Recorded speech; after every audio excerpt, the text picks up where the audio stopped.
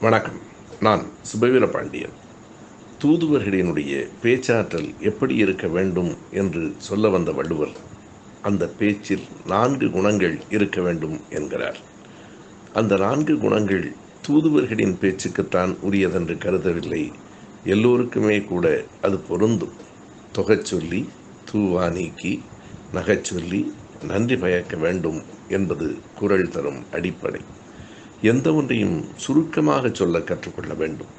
சிலர் நல்ல செய்திகளை கூட வளவள என்று பேசுகிற போது எதில் இருக்கிறவர்கள் கேட்பதில்லை. அதனை தொகச் சொல்ல வேண்டும். அதாவது சுருக்கி சொல்ல வேண்டும். காயப்படுத்தாமல் சொல்ல வேண்டும். நகைச்சுவை உணர்வோடு சேர்த்து சொல்ல வேண்டும்.